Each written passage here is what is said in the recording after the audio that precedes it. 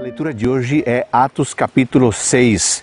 É bom você começar todos os dias lendo a palavra de Deus.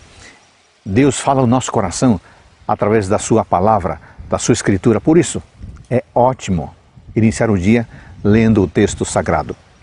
Estevão foi o primeiro mártir da igreja cristã. O verso 10 do capítulo de hoje diz que ele falava de modo poderoso, pois fazia isso com sabedoria e era dirigido, acima de tudo, pelo Espírito Santo. Acontece que isso despertou tamanho ciúme, tamanha oposição, que as pessoas se levantaram contra Estevão, buscando mentiras para incriminá-lo.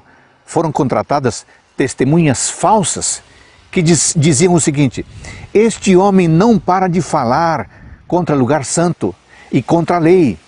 Nós ouvimos dizer que Jesus, o Nazareno, destruirá este lugar e mudará os costumes que Moisés nos deu.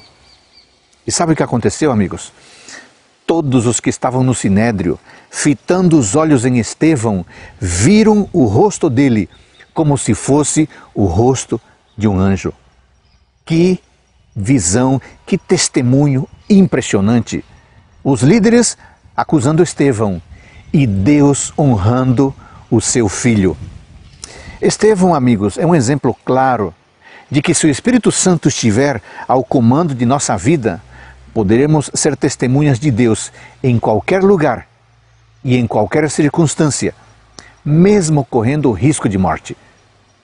Que o Senhor nos acompanhe hoje e que nós também sejamos testemunhas vivas do seu amor em favor da humanidade.